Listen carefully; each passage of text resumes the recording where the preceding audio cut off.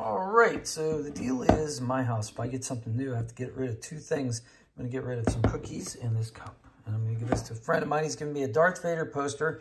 And I'm gonna give him my impressive, most impressive ceramic cup. So I'm going to give him some, some cookies as well. All right, I'm gonna make more, so we'll give him, we'll give him, two there are. And we'll give him four cookies. All right, hope you guys have a great day. Smash like for me and tell me what you're doing for minimalization and uh, Star Wars today. Have a great day.